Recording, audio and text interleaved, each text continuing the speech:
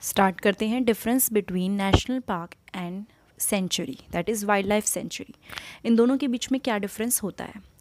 National park जो होता है ना, वो प्रोटेक्शन देता है, लेकिन किसको? फ्लोरा एंड फोना को। यानी कि जितने भी पेड़ पौधे सब कुछ हैं, उन सबको प्रोटेक्शन देगा। चाहे वो पेड़ हो, चाहे वो वहाँ का लैंडस्केप हो, या फिर वहाँ के एनिमल्स हो, ठीक है?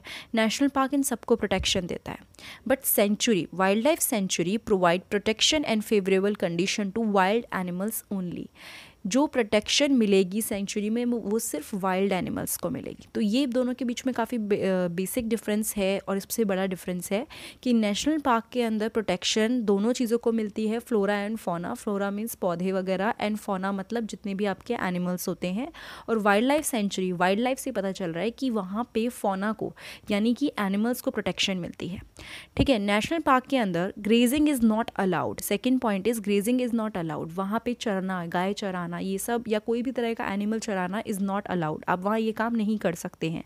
लेकिन सेंचुरी के अंदर ग्रेजिंग अलाउड होती है। वहाँ पे आप कोई भी एनिमल को चरा सकते हैं, ठीक है? मतलब किसी एनिमल को अगर कुछ घास खाने या whatever they want to eat आप उनको चरा सकते हैं, वो अलाउड होता है।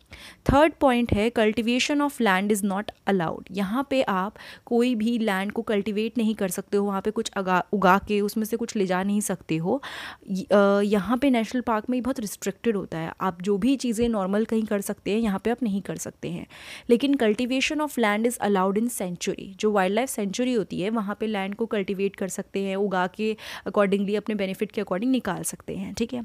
हाँ उतना ओपन नहीं होता बट काफ़ी चीज़ें ओपन है as compare to national park private ownership is not allowed कभी नेशनल पार्क के अंदर किसी की भी प्राइवेट ओनरशिप नहीं होती कि वो लैंड उसका है या फिर वो पर्टिकुलर पार्ट उसका है या उसने प्राइवेटली वो ख़रीद रखा है या वो उसका ओनर है, ये सब चीज़ें नेशनल पार्क के अंदर नहीं होती.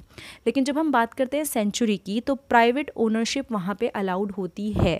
वहाँ पर थोड़ा सा लैंड हो सकता है किसी ने ख़रीदा हो, चाहे कोई मतलब किसी और पर्पज़ से ही ख़रीदा हो बेनिफिट के लिए ख़रीदा हो, लेकिन वहाँ पर प्राइवेट ओनरशिप अलाउड होती है. ठीक है? उसके बाद है नेशनल पार्क की जो बाउंड्री है ना, वो बहुत अच्छे से मार्क्ड होती है, ठीक है? कि ये चीज़ है, ये इतनी, ये एरिया है, यहाँ से स्टार्ट हुआ है और यहाँ तक जाएगा और ये पूरा फिक्स है, ठीक है? एकदम क्लियर होती है। लेकिन सेंचुरी के अंदर ऐसा नहीं होता। वहाँ पर जो बाउंड्री है, वो बहुत अच्छे से डिमार्केटेड नहीं होती, बहुत अच्छे से मतलब क्लियर नहीं होती है। थोड़ा ओपन है, पूरा एरिया है वहाँ पर जितने भी अकॉर्डिंगली जिसको ज़रूरत है कई चीज़ें वो चेंज यूज़ कर सकते हैं चेंज कर सकते हैं। तो बेसिक डिफरेंस जो नेशनल पार्क और सेंचुरी के बीच में है, वो यही है कि नेशनल पार्क में फोकस दोनों पे है।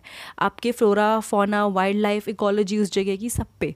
लेकिन सेंचुरी में जो फोकस है दैट इज़ ऑन एनिमल्स तो ये था difference between national park and sanctuary अगर ये वीडियो आपको अच्छी लगी हो तो प्लीज़ लाइक कमेंट सब्सक्राइब और शेयर करना मत भूलिएगा।